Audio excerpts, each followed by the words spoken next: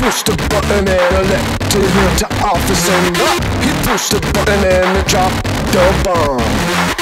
You push the button and can watch it on the television. Those motherfuckers didn't last too long.